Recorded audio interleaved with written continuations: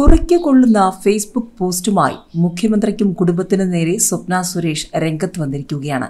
എന്താണ് മിത്ത് എന്താണ് സത്യം എന്ന് ചോദിച്ചുകൊണ്ട് കുറിപ്പിലൂടെ മുഖ്യമന്ത്രിക്കും കുടുംബത്തിനു നേരെ ആഞ്ഞടിച്ചിരിക്കുകയാണ് സ്വപ്ന. സ്വപ്നയുടെ കുറിപ്പ് ഇങ്ങനെയാണ്. Myth and truth. Sir Ganapathi. What Ganapathi? It's a myth. Sir Krishna.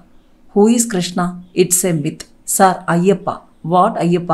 It's a myth. Then, sir, what is truth? Oh, truth. CMRL is truth.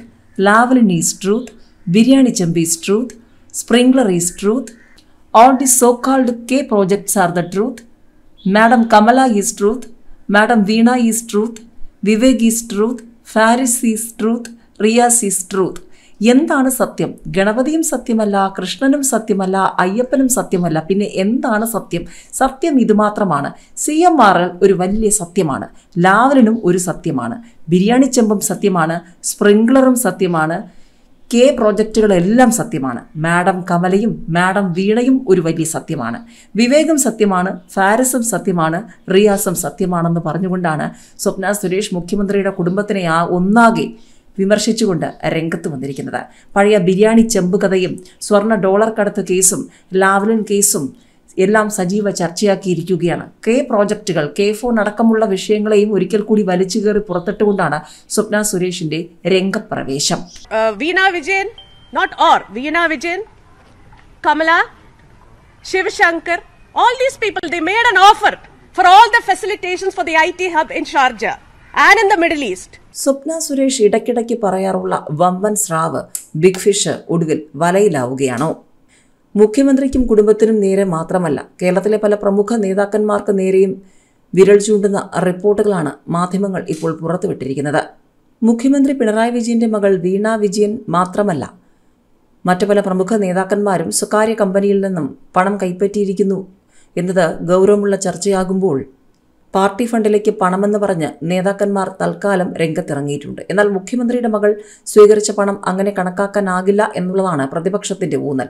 അതേസമയം മുഖ്യമന്ത്രിയുടെ മകളുടെ പേരിൽ മാസപ്പടി ആരോപണം അടക്കമുള്ള വിഷയങ്ങളിൽ പ്രതിപക്ഷത്തിന് മറുപടി മൗനം മാത്രമെന്നും മിണ്ടാതെ പ്രതിപക്ഷമെന്ന ആരോപണം ഉയർത്തിക്കൊണ്ട് ബി ജെ പി അടക്കം രംഗത്ത് വന്നിട്ടുണ്ട്. മുഖ്യമന്ത്രി പിണറായി വിജയന്റെ മകൾ Veena Vijayan Cochin minerals and rutile limited എന്ന സ്വകാര്യ കമ്പനിയിൽ നിന്ന് മാസപ്പടി കൈപ്പറ്റിയെന്ന ആരോപണത്തിൽ മറുപടി മൗനം മാത്രം. ഇത് സംബന്ധിച്ച് മുഖ്യമന്ത്രിയോ വീണയോ വിശദീകരണം നൽകിയിട്ടില്ല.